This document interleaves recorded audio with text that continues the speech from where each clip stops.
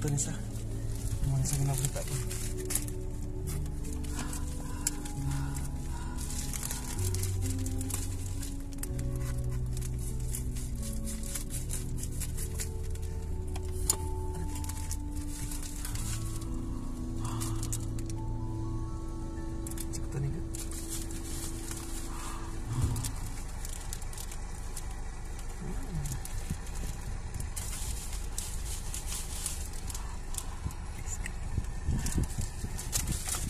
Hi guys, so uh, this is uh, what I ordered uh, lures for casting. So actually dalawang size yung in order ko. Uh, ito siguro mga 6 centimeters or I don't know, basta 6 grams. Ito medyo malaki-laki. It's uh, 10 or 15 grams.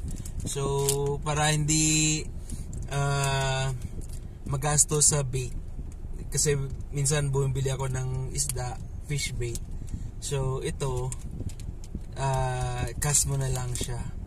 So, yung, mga, ito, may mga rattlers, uh, naka treble hooks. So, ito yung mga magagandang pan, lures pag, pag sa beach. Kasi minsan, pupunta kami ng beach habang si Relish nagsiswimming tapos ako doon lang sa bato. Pumunta tayo doon sa bato at nagkakast so yun uh, hopefully we'll try this soon pag nakabalik na kami doon sa sa fishing spot namin. Alright see you guys. Alright guys so ito yung mga lures. Uh, mga target na mga isda na makukuha dito. Usually uh, mga between 1 to 2 kilos So, mga trevally, mga ganun. Uh, ewan ko kung ano sa English yung alom-alom, basta dun sa local term, alom-alom. Uh, snappers, uh, lapu-lapo, kaya kong lihin ito.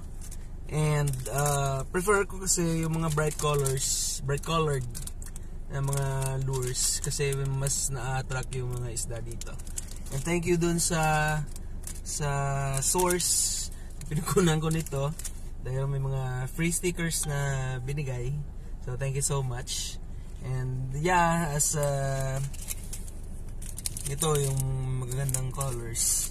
So hopefully we'll try this soon and we'll give you an update if uh, its effectiveness and sana makahuli. Alright.